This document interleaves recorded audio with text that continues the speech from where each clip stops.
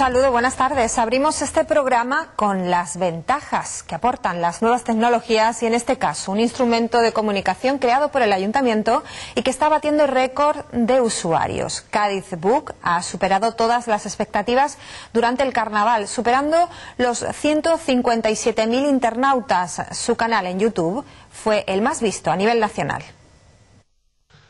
El portal de Book bate todos los récords de visitas y descargas durante el pasado carnaval. En el mes y medio en que se desarrolló la principal fiesta gaditana, la plataforma multimedia superó los 15 millones de descargas de vídeos, un balance extraordinario que supone duplicar los registros ya excepcionales que se alcanzaron el pasado carnaval de 2010. A todo ello ha contribuido notablemente el incremento en paralelo del número de usuarios registrados, que han aumentado en un 60% hasta superar la cifra de 157.000 internautas. Por si no fuera suficiente, a estos resultados exitosos se suma además que durante este periodo el canal oficial de Carnaval activado en YouTube fue el más visto en toda España y uno de los 80 con mayor seguimiento a nivel mundial. Datos todos que, a juicio del concejal responsable del área, consolidan definitivamente a la plataforma multimedia de Cádiz Book como el referente indiscutible de red social, contenidos e información sobre todo lo relacionado con nuestra ciudad. Por tanto, Cádiz Book se ha convertido en un referente importante en el contenido de carnaval en Internet y eh, además damos la oportunidad, o en este caso está eh, estructurado de manera que los usuarios pueden elegir eh, la demanda y disfrutar a la carta en el momento además que, que lo deseen. Gracias a Cadibook, los carnavales de Cádiz han podido ser seguidos por más de 100, más de 100 países del mundo, bien por la retransmisión en directo del concurso por Onda Cádiz Televisión, integrada en esta plataforma digital, o bien por la reproducción de vídeos bajo demanda. Más allá del éxito en visitas, descargas y registros de usuarios, Bruno García ha destacado el acierto de apostar por esta iniciativa pionera en España para contribuir a la digitalización y mayor conocimiento en nuevas tecnologías de todos los ciudadanos. Esto ha sido una gran apuesta digital evidentemente basada en las nuevas tecnologías y que está a disposición de todos los gaditanos. Con la idea también y con el objetivo, cumpliendo con el objetivo de esta empresa municipal Cádiz Conecta, que es la de facilitar el acceso a las nuevas tecnologías y, hacer, digamos, de la alfabetización digital un, eh, digamos, un objetivo de este, de este ayuntamiento. Tras la completísima oferta presentada en los pasados carnavales, la plataforma que impulsa la Sociedad Municipal Cádiz Conecta ya anuncia una cobertura extraordinaria de la próxima Semana Santa Gaditana.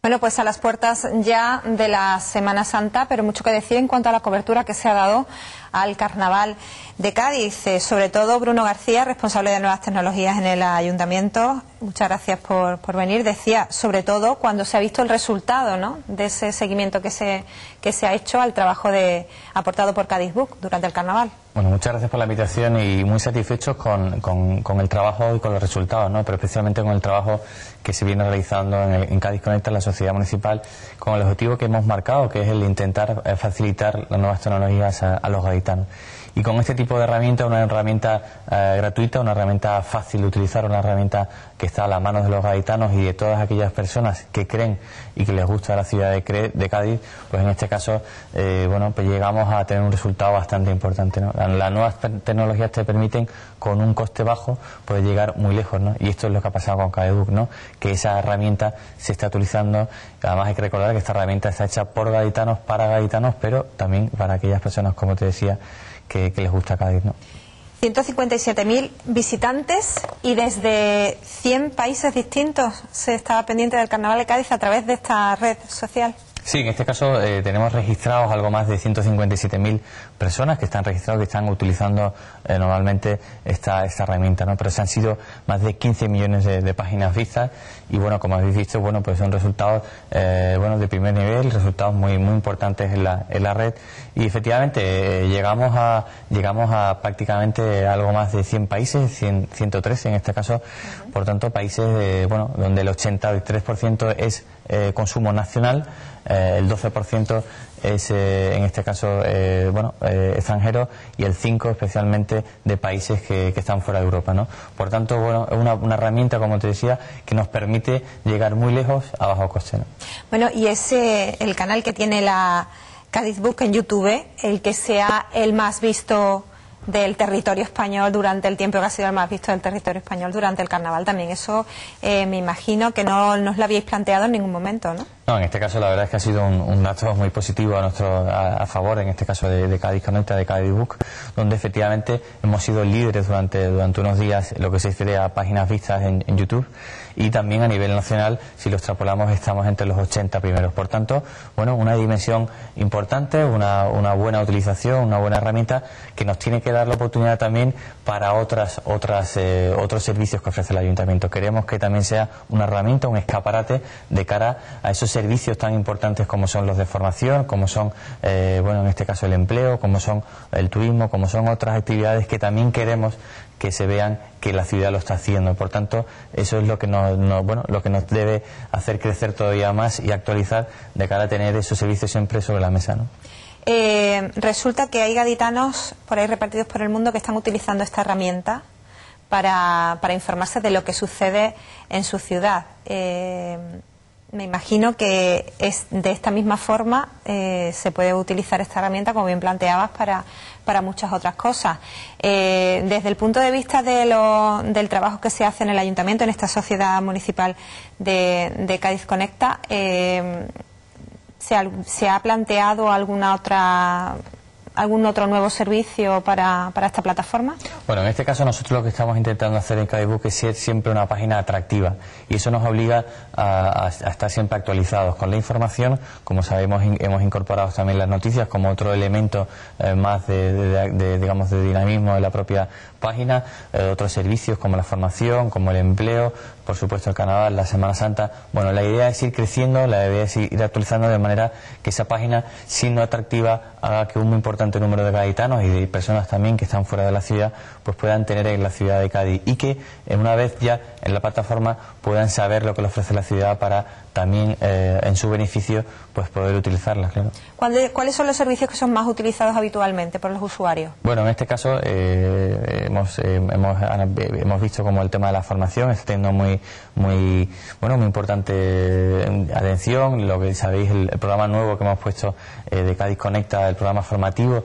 donde en su momento se pusieron carpas, ahora estamos lo vamos a hacer de forma permanente en el CENTI, en, Intramuros y también en Extramuros en la calle Medina Sidonia. Bueno, está teniendo una, muy buena aceptación a la hora de la solicitud, pero son diversos los, los, eh, servicios, tanto de noticias como de, bueno, de distinto tipo. En cualquier caso, lo que vamos a hacer siempre es eh, ofrecer eh, todos estos elementos nuevos que se van incorporando a cada ebook. ¿no? el, en cuanto a lo, a lo, que se plantea ahora, que son el enfoque de la Semana Santa y la información que eso genera, que bueno, que me imagino que eh, en la misma medida que hay muchos aficionados al Carnaval de Cádiz eh, en la ciudad y fuera de ella, también la Semana Santa va a suscitar eh, curiosidad y interés a, a, través de esta red social, ¿no? Nos hemos puesto el listón muy alto, ¿no? Porque si bien el año pasado en Carnaval y el Cadibook nació durante el carnaval y al inicio del concurso, pues este año hemos aumentado un 60% el número de registros, por tanto hemos crecido este año un 60%. En Semana Santa el año pasado, no sé, bueno, pues también tuvimos unos datos espectaculares, ¿no? Y estamos convencidos con esta evolución que está teniendo que seguro que también, eh, que también vamos a tener en Semana Santa unos buenos datos para para ofrecer algo positivo y para dar motivos a las personas a, que vengan, estamos trabajando ya en Cádiz Conecta para que la programación de Semana Santa, pues también en Cádiz Book sea también, eh, como lo ha sido el carnaval, muy amplia y muy atractiva. ¿Qué hay detrás de, todo este trabajo? ¿Cómo se, cómo se, porque imagino que esto no es, eh, no se genera por ciencia infusa, hay mucho, hay personas especializadas detrás de todos estos datos que salen al aire y toda esta información que recorre los canales internacionales. Pues sin duda lo que hay son gaditanos que están trabajando, que están, que están, que son eh, habituales de las nuevas tecnologías, que pueden eh, y que deben aportar a, la sociedad, digamos, sus conocimientos de cara a que, a que los gaditanos puedan aprovechar eso y que puedan también familiarizarse con el mundo de las nuevas tecnologías. Por tanto, hay un trabajo muy importante detrás, muchas horas, porque eh, hay que entender que, que, la actualización requiere de estar eh, continuamente pendiente de cualquier eh, novedad y en este sentido, bueno, ese es nuestro objetivo, trabajar para la ciudad de Cádiz y en este caso en el ámbito de las nuevas tecnologías porque esa oportunidad que tenemos de, de ser pioneros y estar, digamos, adaptados a las nuevas tecnologías es una oportunidad que desde el ayuntamiento no se quiere dejar pasar. ¿no? Bueno, pues para si alguien todavía que queda por ahí sin haber tomado contacto con Cádiz Book, eh, qué es lo que, a dónde se tiene que dirigir y cómo la encuentra y dónde está. Bueno, pues en la red estamos en cadizbook.es, donde va a encontrar eh, las cosas de Cádiz, las cosas que nos interesan, noticias, también información, opinión. Va a encontrar también, como decía, eh, el enlace que le, que le lleva a ifes.es, donde, donde tratamos ya los temas de formación y empleo. Va, va, a conocer también todo lo que le ha sido, como decía, el programa formativo de cara a la nueva tecnología. En definitiva, va a ver los servicios que le ofrece la ciudad de una manera eh, que le va a poder ser muy fácil y, digamos y le va a llegar y que pueda en su momento digamos eh, de forma personalizada buscar aquello que le va interesando sobre la ciudad. Bruno García, eh, concejal delegado de Nuevas Tecnologías en el Ayuntamiento de Cádiz, muchísimas gracias. Muchas gracias a vosotros. Señores, eh, continuamos con otros asuntos. Eh, pendientes ahora de la puesta en funcionamiento tras la finalización de las obras de la nueva central eléctrica de Puntales el próximo verano. Apuesta por el futuro que garantiza el suministro de la ciudad, al menos para los próximos 50 años, eh, en las mejores condiciones. Ya se encuentra el 50% de su ejecución esta obra, la más importante de la historia de la empresa municipal eléctrica de Cádiz. La nueva central eléctrica de Zona Franca entrará en servicio este próximo verano. Así lo ha asegurado la alcaldesa Teófila Martínez tras la visita que ha girado a las obras junto a los ingenieros y responsables de la suministradora municipal. A pocos días de cumplirse el primer año de ejecución, el mayor proyecto de la historia de eléctrica de Cádiz ha culminado prácticamente su tercera etapa con la finalización de la obra civil. A partir de ahora comenzará la penúltima y más delicada fase de instalación y montaje que llevará a reemplazar el viejo entramado de la central por los más modernos sistemas de conexión. La alcaldesa se ha felicitado por la buena marcha de las obras, destacando el esfuerzo inversor superior a los 10,3 millones de euros que se destinarán a esta nueva central, unas instalaciones que permitirán duplicar la potencia eléctrica para garantizar un suministro estable y de calidad y atender al crecimiento de demanda que experimentará la ciudad en los próximos años. Quiero resaltar el esfuerzo eh, de, diseño, de, proyecto de esta central y sobre todo el esfuerzo económico de tanto del ayuntamiento como de los socios que conformamos la empresa eléctrica de Cádiz. Esta instalación, la vieja instalación llevaba funcionando 50 años, más de 50 años, y esta instalación se ha hecho, repito, con un esfuerzo de inversión muy grande. Son 10 millones casi y medio de euros los que se van a invertir aquí y también mm, eh, aparte de ser una apuesta de futuro, esta es una preparación que estamos haciendo eh, de cara a los nuevos crecimientos de la ciudad y las nuevas necesidades de disponibilidad de energía eléctrica, pensando sobre todo en la mejora de calidad de vida y del servicio de todas las familias gaditanas, pero también de todos los empresarios y teniendo muy en cuenta las más que seguras demandas de consumo de energía eléctrica cuando esté transformado el recinto exterior de la zona franca. Tengan ustedes en cuenta que en los últimos años, derivado del descenso de carga de trabajo en astilleros, por ejemplo, del traslado de casa a, tanto a Puerto Real como al puerto, la demanda de consumo en, esa, en ese tipo de industrias y la desaparición de importantes talleres con la crisis de astilleros con la reindustrialización, como talleres Faro, como talleres Cervera, como Hierros Cervera, pues ese tipo de demanda de esa energía eléctrica había caído en la ciudad. Pero una de las cosas más importantes que contiene el plan general es precisamente la transformación de ese recinto exterior de la zona franca, que se llama así, pero es nuestro equipamiento industrial, nuestro complejo económico, por así decir, el futuro va a necesitar unas demandas de energía eléctrica de, potencia, pero también de calidad en el suministro. No podemos aspirar a que se ubiquen empresas eh, blancas o de nuevas tecnologías si no tenemos garantizado un suministro energético de calidad donde esté todo controlado y donde la influencia de los distintos niveles de llegada de la energía eléctrica en alta a la ciudad influya en la vida o en el funcionamiento de eh, empresas que necesitan suministro de energía eléctrica, por ejemplo, para ordenadores o para eh, servicios públicos o privados que necesitan una alta tecnología y un alto nivel de calidad en el suministro de energía eléctrica. Cuando digo calidad es evitar los cortes, es evitar los fallos, porque eso siempre puede producir eh, daños en las instalaciones propias de cada empresa y parones en los, en los procesos eh, de servicios o productivos. Por tanto, con esta instalación les estamos eh, garantizando a la ciudad de Cádiz tanto del servicio de energía eléctrica para eh, industria como para el servicio de necesidades domésticas de la más alta calidad. Tengan ustedes en cuenta que a, esta central llega a Cádiz eh, llega eh, la electricidad con una potencia de 132.000 kilovoltios y hay que transformarla en 400 y en 230 kilovoltios que es la potencia que se utilizan en los hogares y en las empresas y en los comercios de la ciudad Y eso necesita, como habrán podido comprobar, una alta eh, dosis de haber colocado aquí la, última tecnología en todo. Habrán visto los sótanos de este edificio donde la altura es dos, de dos metros y medio. Ahí llegan los cables que llegan a, a esas celdas que han visto ustedes y a unas que van a venir aquí en los próximos meses que son importadas y que cada una de ellas eh, cuesta más de 600.000 euros, que son la última tecnología y que habrán visto que hay una grúa pórtico precisamente para poderlas desplazar. Con eso les quiero significar lo que es esta inversión. Esta inversión no es una inversión que los ciudadanos puedan valorar porque las ven en mejoras de calles o edificios. Esto es como el plan de saneamiento integral de la ciudad, ¿no? Que se habla ahora mucho de ello por unos vertidos circunstanciales. Pero para que no existan esos vertidos circunstanciales hay que hacer unas obras de ingeniería y lo que hemos hecho durante 15 años de estar renovando todas las conducciones, tanto de pluviales como de eh, fecales como de suministro de agua. Pero eso no se improvisa. Y esto es el corazón de el suministro de energía eléctrica a la ciudad en los próximos 50 años. Hay unas instalaciones que van a desaparecer, las que han visto ustedes, de, de, transformación al aire libre. Todas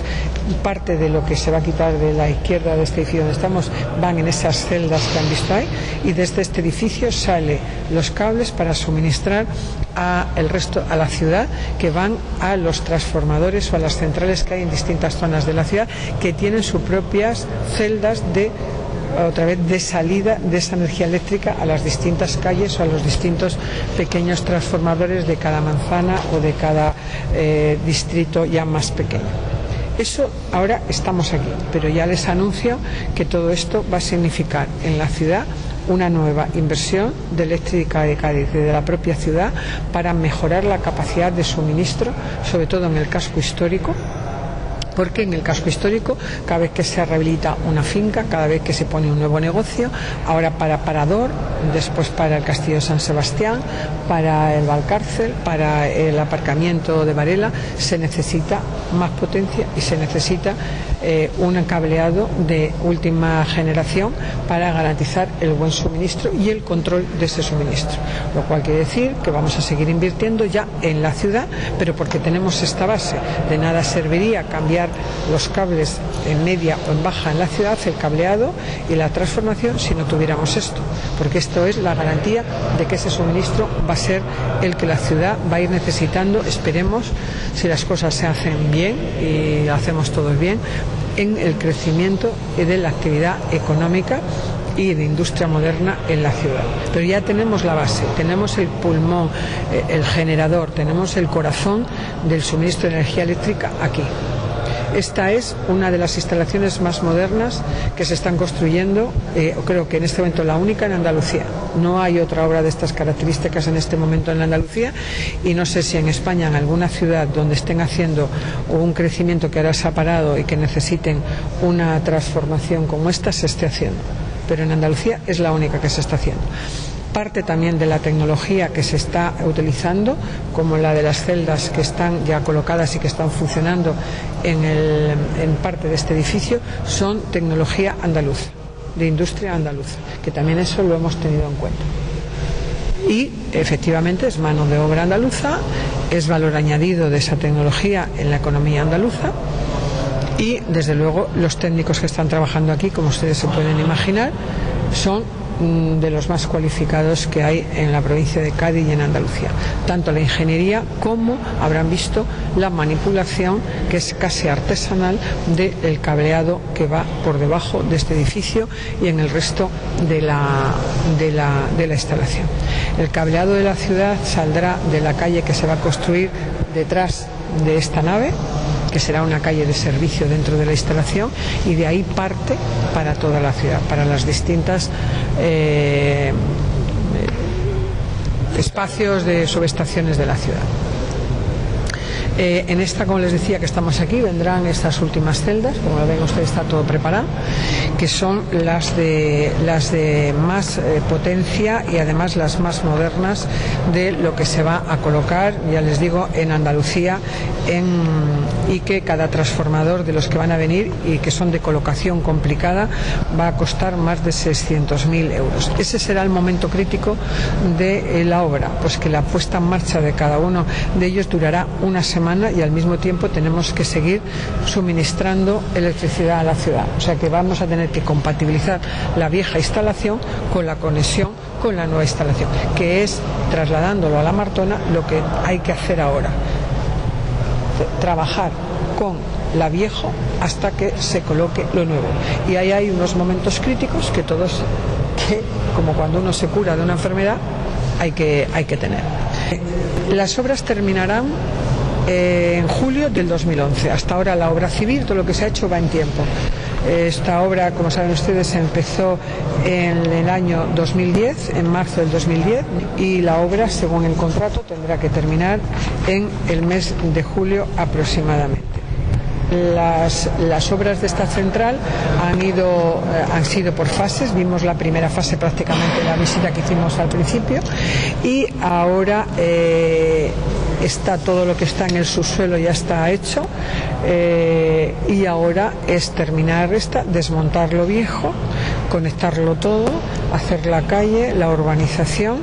y eh, realmente en ese momento está, eh, estará todo finalizado. La obra civil está prácticamente finalizada, entera, y ya lo que es la colocación de instalaciones, el ensamblaje, el desmontaje y la urbanización. Eh, como les decía, esto es importante ya de momento para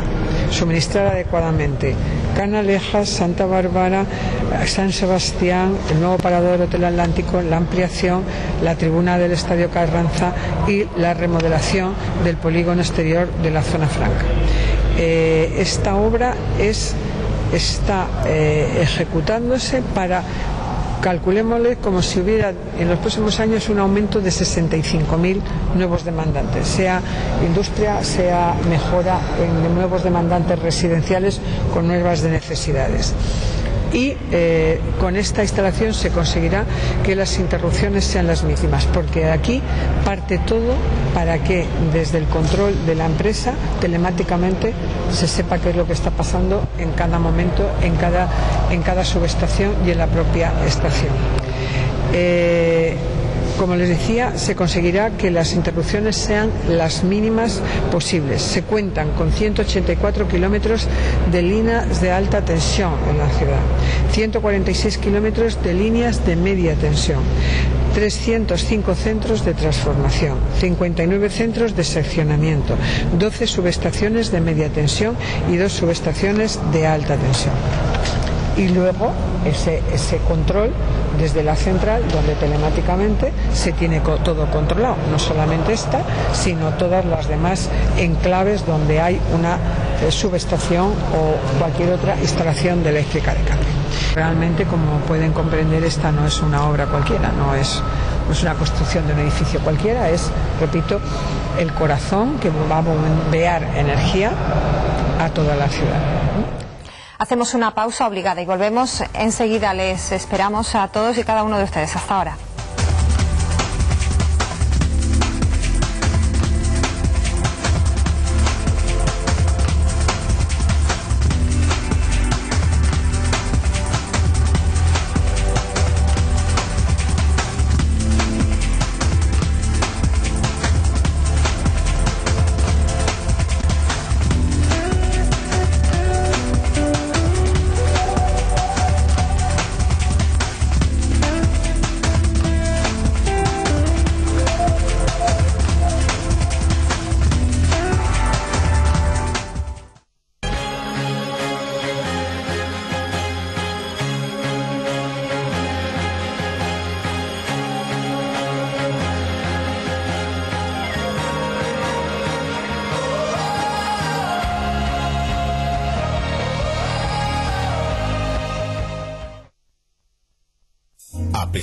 Crisis, seguimos mejorando nuestra ciudad.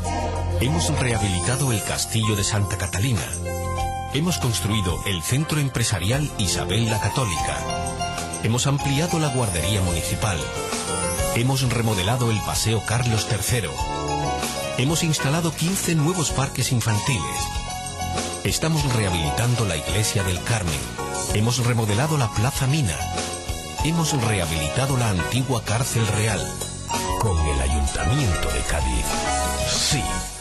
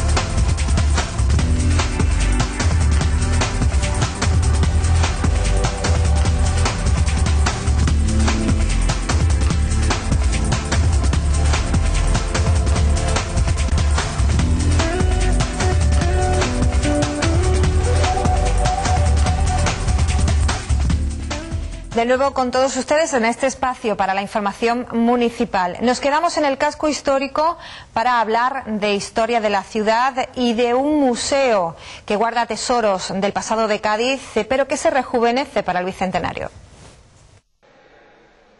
El Museo de las Cortes abrirá en mayo más accesible y con mayor espacio expositivo.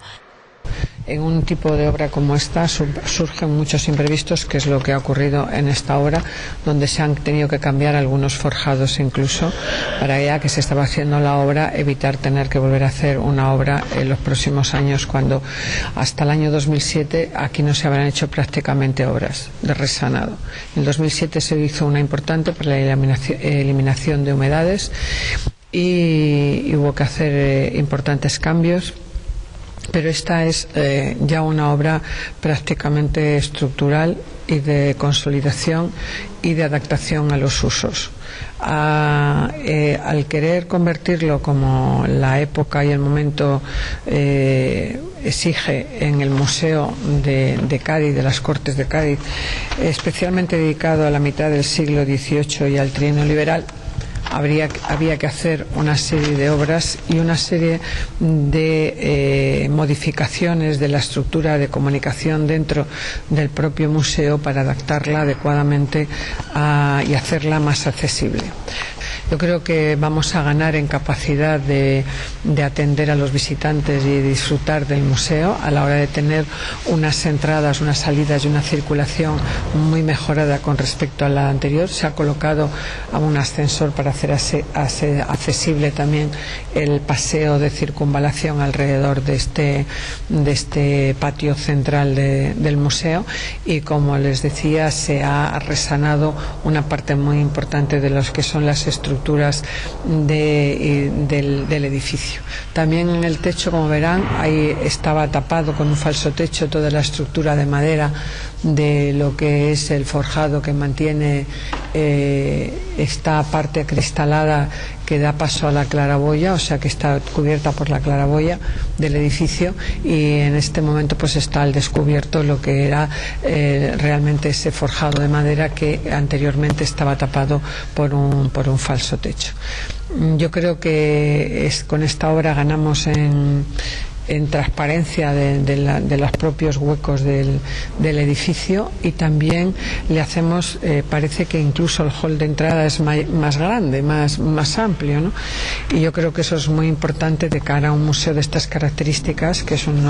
es un edificio de los característicos de la ciudad que tiene poca planta y que antes parecía mucho más angosto, parecía mucho más pequeño y con este trabajo que se ha realizado va a parecer mayor y va a tener va a recobrar más importancia las obras expuestas en el en el en este Museo de las Cortes. Hay huecos de exposiciones nuevos, incluido, como habrán visto, la, todo el pasillo que rodea en la parte alta al, a la maqueta. ¿Eh? que ahí habrán visto que hay una serie de, de, reproducciones de los planos que estaban eh, en el, el, antiguo gobierno militar que los militares como dice la ley de patrimonio tuvieron que se lo llevaron para formar parte de del patrimonio de, del Ministerio de, de, Defensa y del patrimonio de la Nación Española y a nosotros nos hicieron unas reproducciones autentificadas en el propio Ministerio de Defensa que son las que se van a exponer y que, recordarán algunos de ustedes que cuando las tuvimos lo, los pusimos precisamente en el Reina Sofía, en el antiguo gobierno militar y van a venir ahora aquí. Entonces hay algunas zonas de, de, la, lo que es los espacios de circulación que se van a aprovechar para, para exponer. Bueno, más que ganar espacio en muchos metros cuadrados es aprovechar los rincones, ¿no? Porque la casa es la que es y bueno, y da, y da el juego que puede dar. Lo que sí se ha agarrado desde luego es la, la facilidad de circulación, ¿no? Por supuesto también para minusválidos se ha instalado ascensores y, y, que todo sea accesible. Aparte de eso, como ya digo, se han ganado, se han ganado muchos rincones eh, expositivos y además también la novedad de que, de que vamos a poder disfrutar, pues, valga la expresión de corrido, ¿no? De los, prácticamente de los 80 eh, de, las murallas de Cádiz del siglo XVIII, hechos también por estos ingenieros militares, y que en su día del Ministerio de, de Defensa pues nos facilitaron estos facímiles. Los originales son patrimonio nacional y tienen que estar guardados y, custodiados en, en, este caso en archivos o en museos nacionales, pero bueno, tenemos unos, unas copias facímiles que hay que alabar el trabajo que, que, que, han hecho en esas copias, vamos que incluso a los, a los que entendemos un poco, ¿no? un poquito, pues nos cuesta trabajo decir que, que, efectivamente es una copia ¿no? de la calidad de, del trabajo que en este caso nos ha hecho la reproducción del Ministerio de Defensa. Pero se empezaron exponiendo en la parte alta de, de, del Museo Reina Sofía para conocimiento de, todo el mundo, lo que hoy es la sala Aramburu, ¿eh? por cierto, donde está la adoración de la, de la familia Aramburu, y ahora ya claro, se pusieron allí pensando siempre en venir al sitio donde deben de estar, ¿no? previamente rodeando a la maqueta, que porque claro son contemporáneos, ¿no? la obra de esas murallas y la obra de la maqueta y Carlos III y lo que significa este museo, pues todo contemporáneo y ahora está en su sitio apropiado. Este museo va a lucir en su esplendor después de la obra, pero además muy especializado y muy centrado en lo que es los finales del siglo XVIII y prácticamente el primer cuarto de siglo, ¿no? hasta el trienio liberal de, del siglo XIX, ¿no? que es una época, la última gran época de efervescencia de Cádiz. Las obras han puesto en valor la maqueta de Cádiz. Se elevan las vistas sobre ella con una nueva galería en la planta superior y se recuperará la plata del mar, tal y como lucía originalmente en este plano en relieve que refleja la ciudad del último cuarto del siglo XVIII. A su alrededor han vuelto a abrirse huecos existentes antes, ampliando la perspectiva visual de las salas. A partir de que se abra de nuevo al uso, a las visitas de, de, los, de los turistas y de los ciudadanos en general, yo creo que mmm, este museo va a, va a dar la impresión como si fuera un espacio nuevo, expositivo, porque está mucho más claro y como les decía, esta sala se va a convertir en un referente de lo que se ha hecho porque aquí claramente sí se nota lo que lo más claramente la obra que se ha ejecutado y la transformación que ha parece mucho más grande la maqueta también parece más grande y sobre todo hay nuevas vistas sobre las que ver la maqueta, no solamente las laterales como antiguamente y la frontal, sino que va, se va a ver desde todos los ángulos y elevado desde, desde, la, desde el pasadizo. O sea que yo creo que va a ser un elemento muy importante de, de para, para, desde el punto de vista de oferta cultural y turística en los próximos años. Lo más llamativo quizá para todo el mundo va a ser el que se han descubierto algunos huecos, principalmente el arco que está al fondo, en donde como podrán ver ahí estaba antes el cuadro de las Cortes de Cádiz, que ha pasado a un lateral donde ha adquirido incluso más importancia de la que tenía como fondo de la propia maqueta. Eh, al quitarle a la maqueta algunos añadidos que se habían puesto en su momento, eh, según parece, para poderla ver, porque eran, ya saben ustedes, unas pasarelas de madera que circunvalaban, salvo en el caso de este frente, toda la maqueta, porque al fondo también había un pasillo que es donde estaba colocado el cuadro. Pues ha descubierto, no se ha dejado a- a- al descubierto una parte importante de la maqueta que estaba tapada por esos pasillos. Por eso habrán visto que eh, se ha mantenido un acceso en alto al nivel de la maqueta que tiene unas escaleras estrechas, pero por otro lado toda la- el resto de los tres lados que quedan de la maqueta pues es totalmente accesible. Pero se ha añadido una, una pasarela en forma de U que está elevada, como ven, es totalmente de cristal, en donde a partir de su apertura todos los visitantes, todos los gaditanos y gaditanas y también los turistas van a poder ver esa obra de, de qué es la maqueta, esa obra de ingeniería a escala de todo lo, lo que era la ciudad de Cádiz del siglo XVIII, desde una perspectiva que es como se deben de ver las ciudades y los planos, que es elevado, ¿no? Es que es donde se ve realmente la trascendencia y la trama de una ciudad y por tanto aquí vamos a ver la ciudad como si viéramos la actual desde un helicóptero, que es elevado. Y ahí se va a ver realmente en toda su magnitud la trama de las calles y la configuración de la, de la ciudad. Realmente haber tenido la oportunidad de hacer coincidir esta obra y la terminación de la misma con la terminación de la restauración de la maqueta financiada por, por Unicaja en distintas fases es algo también muy importante. En el 12, en el 2012 el museo va a lucir espectacular porque va a lucir espectacular porque la maqueta en sí ya es una, es una obra de arte, es un espectáculo y si está además rehabilitada, el mar azul va a dejar de ser azul y va a ser de plata, como estaba originalmente, que es la última fase de la, de la recuperación y de la rehabilitación de la maqueta. Hasta ahora solamente se podía ver de un modo lateral, ¿no? Y desde una pasarela un poco alta, ¿no? A una aproximadamente a poco más de, una, de un metro de altura. Ahora la nueva disposición y creo que es un gran valor añadido que va a tener el museo nos va a permitir verla eh, eh, en todo su alrededor, prácticamente eh, poco menos que a la altura de, de, de la vista, con lo cual vamos a poder observar todos los detalles en, en, en, de una forma muy directa. Y lo nuevo y sorprendente también es que eh, subiendo al piso de arriba vamos a tener la posibilidad de ver la vista aérea, ¿no? Y ahí, dentro de la remodelación, se han, se han conseguido nuevos servicios de almacenes, que es muy importante para un espacio tan pequeño, en el sentido que este museo es de tamaño en cuanto a espacios para exponer no muy grande, pero el tener nuevos servicios de almacenes, ampliación de las zonas expositivas, nuevas salas,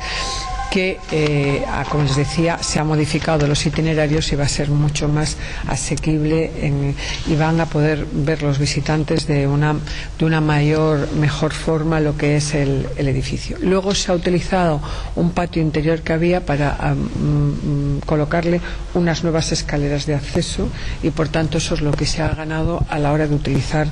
eh, las salas. A nivel interior ha habido que hacer demoliciones, a nivel de sistema estructural, mm, distintas mm, particiones interiores y revestimientos, eh, reforma y ampliación de los sistemas de acondicionamiento y instalaciones, resanado de carpinterías y herrajes y la reforma estética del, interior. A nivel exterior, pues se han sustituido elementos de cubrición, carpintería de ventanas, etcétera, y también herrajes y resanado de carpinterías y herrajes. Se han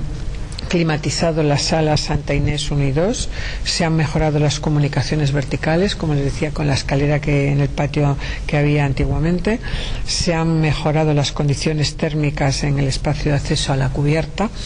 y se han reformado los aseos, se ha mejorado la iluminación y se ha actualizado la decoración interior.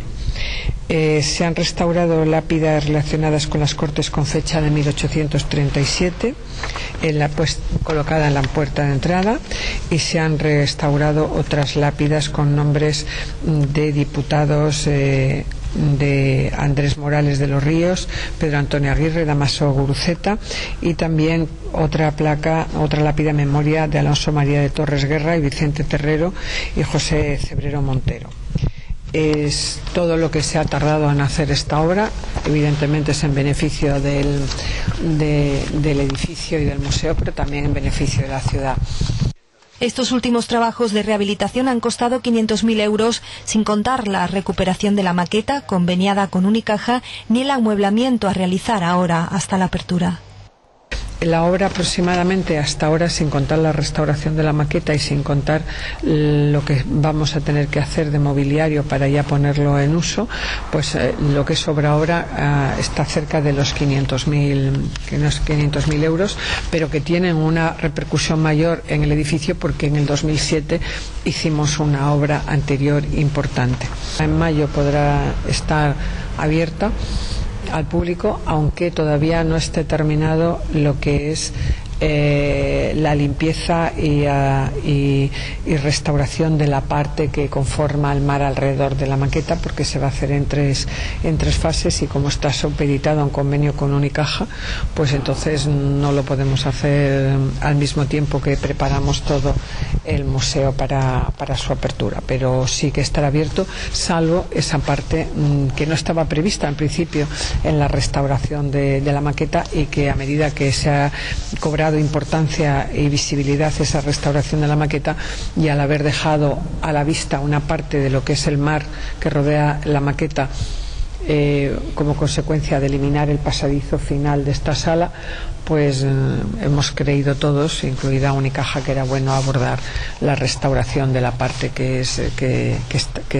que, representa el mar que rodea el casco histórico de la ciudad. Es un museo que ya íntegramente va a estar eh, dedicado, como bien hace, dice su nombre, a un museo de las Cortes de Cádiz, las Cortes y sitios de Cádiz. Hablamos de final del siglo XVIII y de principio del siglo XIX, ¿no? Y ese va a ser prin- principalmente, ¿no? El patrimonio que va a ofrecer ahora eh, ya este museo. Bueno, y quizá dentro del, de su valor patrimonial, ¿no? Hablando de- del valor como tal, bueno, aparte del cuadro de la Constitución de Cádiz, ¿no? De Salvador Viñegra, muy significativo, eh, sobre todo, bueno, por la, por la gran calidad artística que tiene y también por el momento tan importante eh, que recoge cuando ese 19 de marzo de 1812, pues aquí precisamente, ¿no? En, en la plaza anexa a este museo se proclama la, la Constitución de Cádiz, la primera eh, de española, la tercera en el orden mundial, ¿no? Y esa, como hemos dicho tantas veces, pues nos abre el camino a, a la libertad y bueno, y por ella pues dejamos de ser súbditos para convertirnos en ciudadanos, ¿no? El camino del, el largo camino y difícil camino de la democracia,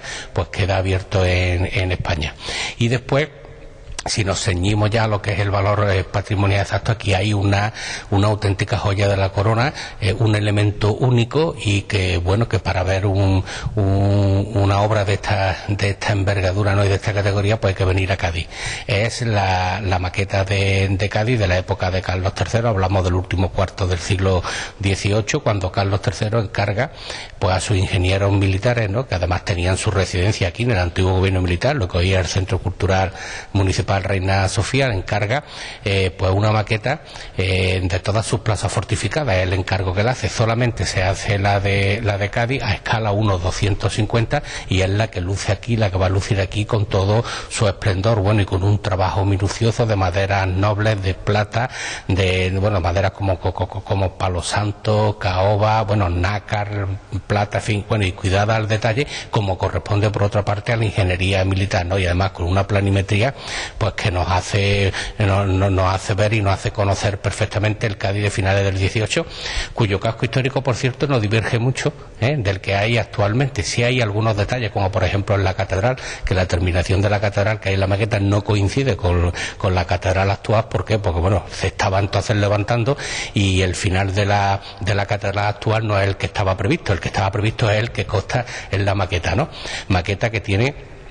como ya digo, a escala 1.250 todo el caserío de, del Cádiz, de Cádiz, desde las murallas, como era entonces, de la muralla de Puerta Tierra hacia adentro, y cuyos edificios más, más emblemáticos y cuyas murallas pues son desmontables y como tal también podemos apreciar el interior, el interior de esas edificaciones. Entonces, eh, bueno, en definitiva, una auténtica joya eh, de una maqueta que no, que cuando se escucha la, palabra maqueta posiblemente eh, no nos imaginemos que estamos hablando de una maqueta pues, que ocupa aproximadamente 70 o 80 metros cuadrados de superficie ahora mismo. Por eso, precisamente por su escala de unos 250. Bueno, y esta obra de, auténtica obra de, yo me atrevería a decir de, de, filigrana, ¿no? De, la ingeniería, pues para verla hay que venir a, a Cádiz. Y aquí va a lucir con todo su esplendor.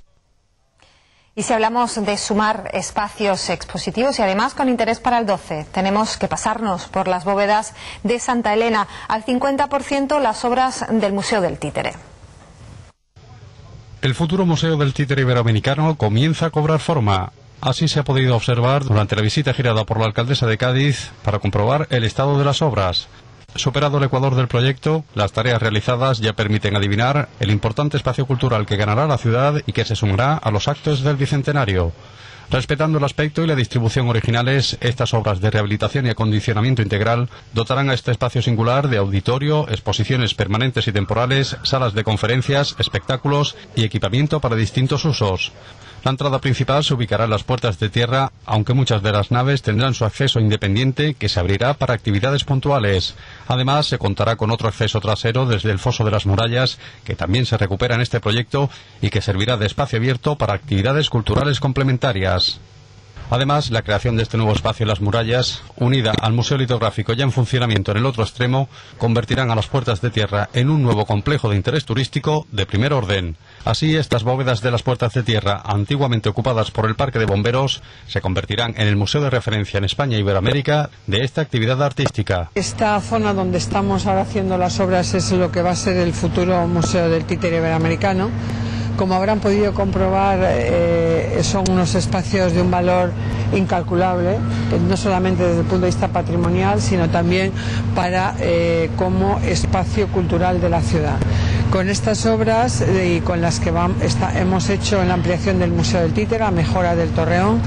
se va a convertir la Puerta de Tierra en uno de los mayores reclamos turísticos de la ciudad.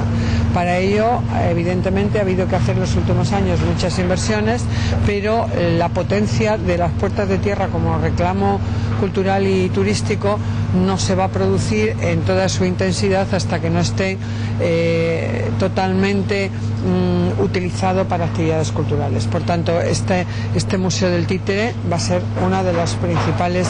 eh, aportaciones desde el punto de vista cultural a las puertas de tierra no solamente porque va a haber un importante atractivo cultural que no se da en ninguna otra ciudad de Andalucía, como es un museo del títere iberoamericano, ni en España, al lado de un teatro de títere permanente como el que estamos construyendo, y eso no lo hay en otra ciudad, ni en, ni en Andalucía ni en España. Por tanto, puede ser un gran atractivo poco a poco, con el tiempo, una vez que le dotemos de toda la, de toda, de todo tipo de eh, títeres en representación del títere iberoamericano. Eh, además de eso, mm, eh, estamos mm, haciendo algo muy importante, poner en valor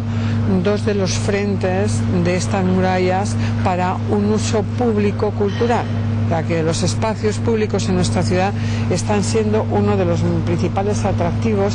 de la ciudad desde el punto de vista turístico y cultural. Y aquí se van a dar dos importantes espacios culturales como son eh, los patios del frente de la muralla de Puerta Tierra, igual que al otro lado están los fosos. Uno ocupado por la zona deportiva del Instituto de Columela y otro por una zona ajardinada que va, que se conecta con la estación de Renfe. Precisamente, como habrán podido comprobar en la visita, una de las entradas a este Museo del Títere, que no será la entrada habitual, es la conexión con el foso de Puerta de Tierra eh, que en este momento está ajardinado. que ahí mm, se va a configurar un importante espacio también, eh, zona verde, pero espacio público para hacer actividades culturales complementarias a las que pueda haber en este Museo del Títere. Habrán visto ustedes que hay unas bóvedas en la parte superior que tienen dos claraboyas que dan a dos patios que van a tener luz eh, natural alrededor de las cuales se van, se, están, eh, se van a configurar todas las actividades. Habrán visto también como las bóvedas de puerta de la parte de arriba están totalmente enfoscadas, como estuvieron primitivamente, y la parte de abajo, una parte de ellas que es la de ladrillo, se va a tratar y se va a quedar visto. También dentro de esta zona va a haber, como habrán visto en los planos, en esta bóveda que tenemos enfrente, un, espacio dedicado a poder actividades en forma de, pequeño auditorio, de sala de, de- reuniones, o sea, sala de, conferencias o sala de cualquier otro tipo de uso. Y eh, realmente aquí eh, vamos a, tener un gran espacio de conexión con Iberoamérica, Puerta de Tierra, Cárcel Real, o, eh, Casa de Iberoamérica y ya enlazando con el Balcón de América que va a llegar con actividades culturales hasta las bóvedas de San Carlos. Ese gran frente de la ciudad, contorno a la ciudad, que es un balcón inmejorable de América, donde alrededor de las murallas se está configurando una serie de actividades culturales que eh, tendrán que mucha proyección en los próximos años, desde las murallas de San Carlos hasta Puerta de Tierra, pasando por las bóvedas de San Roque. Castillo de Santa Catalina, Castillo de San Sebastián, entre catedrales, cárcel, eh, eh, Casa de Iberoamérica, antigua cárcel real, Castillo de Santa Catalina, eh,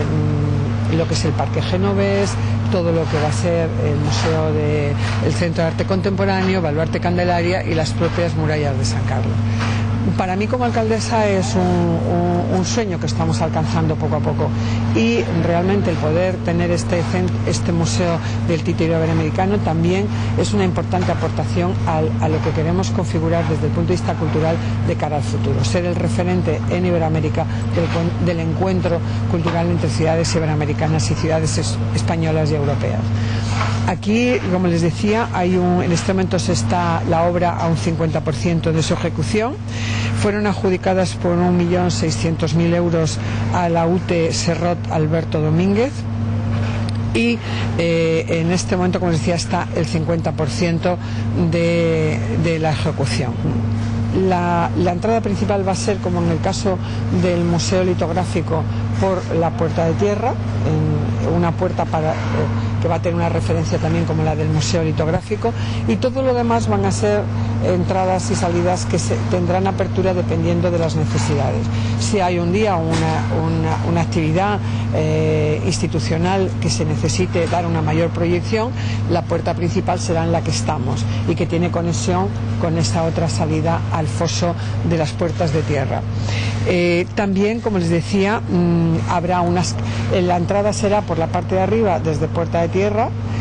Se recorrerá toda la parte de arriba, todas las bóvedas, se bajará por esta escalera y será el recorrido al revés hacia allá para salir otra vez por Puerta de Tierra. O sea que será al revés la circulación. En la parte de arriba irá de derecha a izquierda y en la parte de abajo irá de izquierda a derecha para salir otra vez por las puertas de, de tierra. El patio exterior será un patio que eh, será totalmente remozado con una, con una solería adecuada y que estará dedicado también a actividades mm, de todo tipo, pero que es principalmente para utilizar el espacio público para programar en ella también actividades culturales, ya que vamos a tener aquí una concentración de equipamientos culturales de la ciudad. Y por tanto se, se- se podrán programar todo tipo de actividades, desde exposiciones al aire libre, desde conciertos, desde actividades teatrales, musicales, de danza, todo lo que se nos ocurra también se podrá hacer en estos dos importantes eh, patios, por así, exteriores de las murallas de Puerta de Tierra. El Museo del Títere va a ser uno de los principales elementos dinamizadores de este BIC, que es la puerta de tierra, ¿no? Porque en el otro lado está el Museo de Litográfico, va a haber un Museo de la Prensa, eh, con las bóvedas que me estaban antes, la Casa del Niño Jesús, y eh, en, el, en el medio se, se está remozando y eh, se va pronto a tener a disposición la nueva maquinaria para que el Torreón siga teniendo la utilización de hace unos años como visita virtual al Cádiz del siglo XVII y XVIII. Con este museo también vamos a convertirnos en la primera ciudad del títere eh, en, en España. Y desde luego nosotros tenemos, como les decía al principio, muchas esperanzas en todo eso, lo que va a significar para no solamente eh, aumentar la capacidad de instalaciones de, espacios culturales de la ciudad, sino también para que todo ese movimiento mm, turístico y cultural que se produce alrededor de ciertos espacios del casco histórico de la ciudad tenga su continuación y se traslade hacia esta parte de la ciudad, hacia las puertas de tierra y eso obliga a pasar por dentro del Pópulo de Santa María, a bajar la Cuesta de las Calesas y a volver a la Plaza de Sevilla y a, a la, a la plaza a lo que es la plaza de San Juan de Dios unida con la plaza de Sevilla. Yo creo que esto es un recorrido muy importante desde el punto de vista turístico, porque imagínense la plaza principal de la ciudad, Canalejas, donde está la principal oficina turística de la ciudad, la plaza de San Juan de Dios, la plaza de Sevilla, todo eso conectado desde Puerta de Tierra hasta las murallas de San Carlos, Plaza de España y eh, la Diputación Provincial. Todo eso es un circuito muy importante, tanto por dentro como desde de lo que es todo lo que está colocado en el contorno del casco histórico de la ciudad. Cualquier visitante, cualquier turista, cualquier gaditano que quiera hacer una visita eh, mm, eh, cultural a la ciudad puede hacerla a través de- del contorno de la ciudad, o sea, de lo que es todo eh, la circunvalación del casco histórico, entrando y saliendo según crea que debe hacerlo hacia el oratorio San Felipe Neri, hacia la Plaza San Antonio, hacia y volver a salir hacia la, el- la- la Plaza de Mina con el Museo Provincial, volver a salir hacia todos esos sitios es entrada y salida y uno puede hacer completar eh, toda la visita cultural a la ciudad, toda la eh, eh, visita desde el punto de vista turístico y de patrimonio, y porque realmente los mayores y principales activos mm, culturales en este momento y de cara al 12 y después del 12 van a estar situados en ese contorno de la ciudad. Por tanto, no se va a concentrar como hace unos años todo alrededor de la Plaza San Antonio, al lado de la Plaza del Falla o al lado de la Plaza de las Flores o del Mercado sino que todo va a ser al revés, va a tener mucha potencia todo lo que es la circunvalación de la ciudad, por lo tanto el, el- permanente ir y venir de la gente por todas las calles de Cádiz va a hacer que todas las calles adquieran un nuevo sentido comercial y, y- y de industria turística del ocio, porque por todas las calles va a poder circular o van a circular todos los turistas o toda la gente que venga a Cádiz a ver nuestro nuestra gran patrimonio cultural. Y eso es muy importante después, desde el punto de vista de la oferta cultural y desde el punto de vista de la oferta comercial y turística en su conjunto de la ciudad. Está al 50%, pues yo creo que con toda seguridad, evidentemente, para enero del 2012 estará terminado y posiblemente ya amueblado, porque amueblado quiere decir con una parte muy importante del utilizado, porque hemos adquirido la colección ya hace tiempo de Ismael, el cantautor, que es uno de era uno de los propietarios de la más importante colección de títeres de España. Entonces ya tenemos una base y de ahí iremos aumentando el patrimonio para ir engrandeciendo eh, el, el contenido de este Museo del Títere con respecto a Iberoamérica. No se puede uno precipitar. Iremos, eh, la ciudad irá haciendo adquisiciones de distintos países que irán engrosando la exposición e incluso algunas salas las dejaremos para hacer exposiciones puntuales de títeres puntuales, temporales de distintos países de Iberoamérica. Unas veces estarán los títeres de México, otras veces estarán los títeres de Chile, otras veces estarán los títeres de Colombia, otras veces estarán los títeres de Centroamérica, o sea que habrá alguna de las aulas dedicadas a exposiciones temporales del títere. Hasta aquí llegamos, ha sido todo. Muchas gracias por su confianza. Disfruten del fin de semana.